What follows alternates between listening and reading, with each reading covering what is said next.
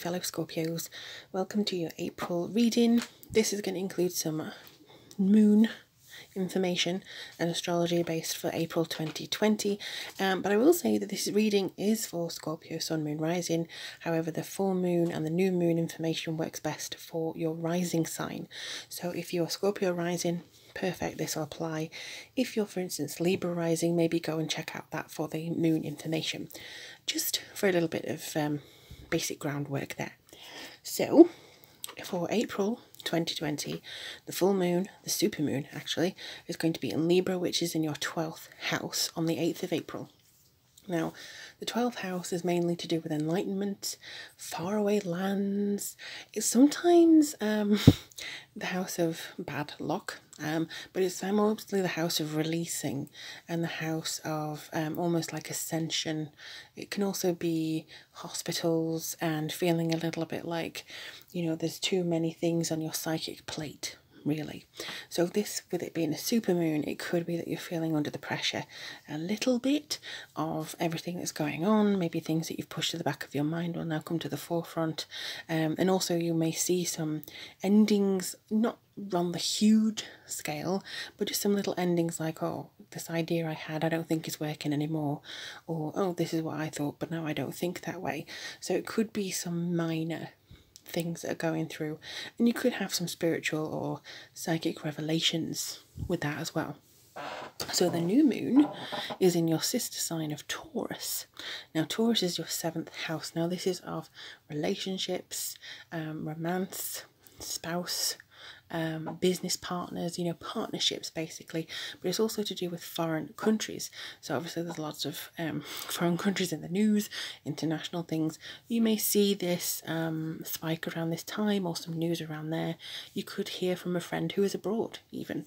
Um, but the new moon in 24th or 23rd, depending on where you are, this is very much going to be an orderly collective.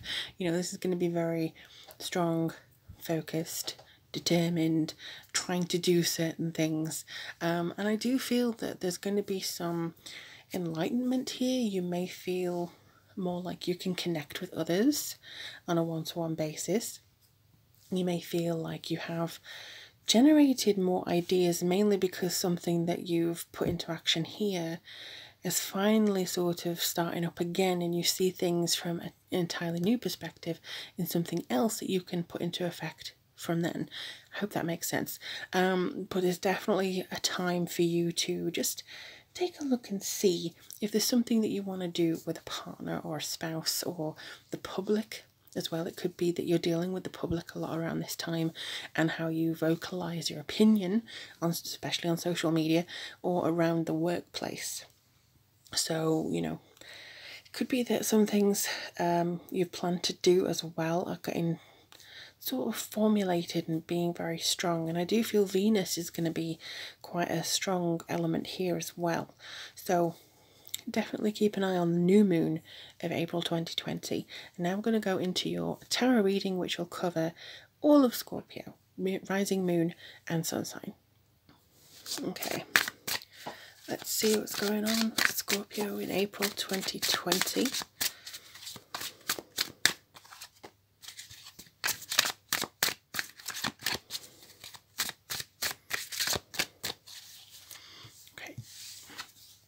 We have the Eight of Pentacles, we have the Lovers, we have Strength, and we have the Nine of Cups. Wow, okay. Did not expect all these positive cards, however, I does not surprise.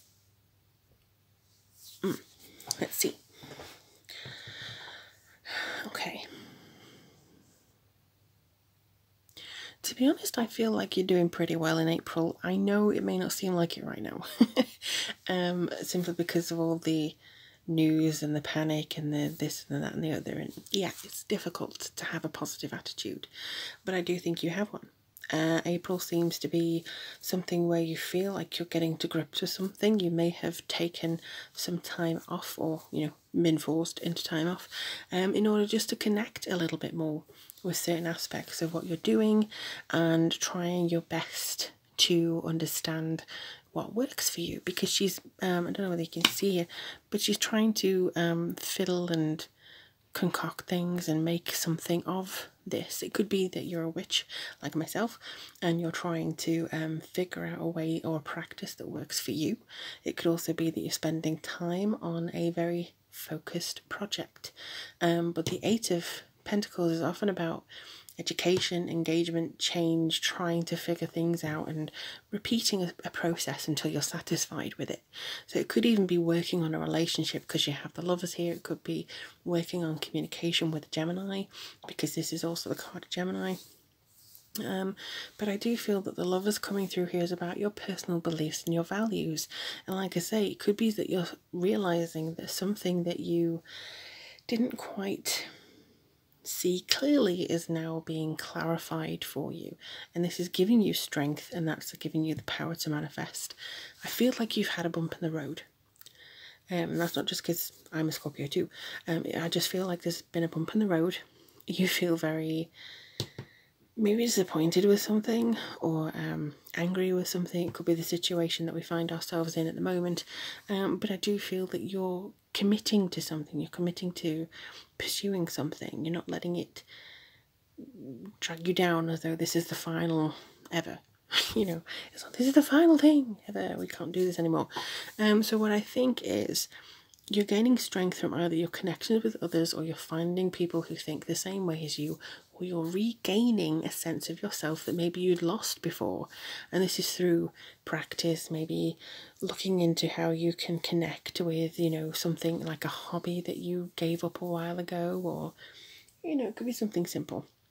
But I do think this, if I can get it, strength is definitely one to watch. Um, I feel as though this is quite important for you to focus on your inner strength. Um, don't deplete it. This is also about patience and soft control of a situation. So you can only control what is personally yours. So, for instance, I'm going to use the thing again. You can write the book and you can send it to people. You can't make them buy it you know, you can lead a horse to water, but you can't make it drink. So you can control what you can control. Don't try and extend that strength into other things, or else you'll find yourself depleted. So please try and apply that for this month. And then we have the Nine of Cups, which is the manifesting card. This is the wish card. This is your comfort satisfaction. So you probably now you know what you want, or now you're working towards what you want, you'll find that you manifest things a lot quicker, or you know clearer what to ask for and how to ask for it, which is very important when you're dealing with the universe, and very important when you're trying to manifest something that. For you, in the in you know, you may be thinking, "Oh, it's selfish to manifest something for myself when there's everything going on in the universe, you know, everything that's going on in the world." But there still needs to be some kind of there still needs to be you basically. So if you you need to be happy. So i think this is basically what it's saying is that you allow yourself to be happy allow yourself to be strong and allow yourself to wish for things. You don't have to be the world's healer you can help but you don't have to be the world's healer. It's not your job to completely solve everything. So again control what you can control it may be that you want to bring something into the world. It may be that you want to experiment with something or, you know, do something nice. The world needs that, you know, so just explore your options a little bit. Awakening, okay. Energetic upgrades, a new way of being and integration. Yeah, so that kind of matches, especially around the new moon here, which is in Taurus in the seventh house. There could be a feeling of, you know, you're feeling more from the full moon there's something that's not quite right. Maybe there's an enlightenment coming up, and then you actually put it into effect from the from the new moon at the end of April. So that definitely feels like it's coming almost full circle for you. They want me to take the top. Unbound. Wow. So they're both in the air, and there's a full moon here. So again, you unbind yourself from something here. Releasing soul patterns, contracts, past life, you release that. And then here you awaken from it. So it's almost like you're coming out of a sleep from the full moon to the new moon, beginning and end of April.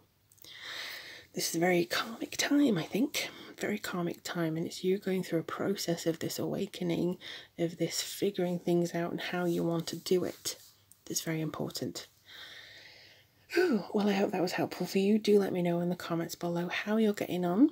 I'd love to hear from you. And if you're interested in a personal or private reading about anything at all, all that information is in the description box below as to how to get one. But in the meantime, be safe and be kind to each other and love each other.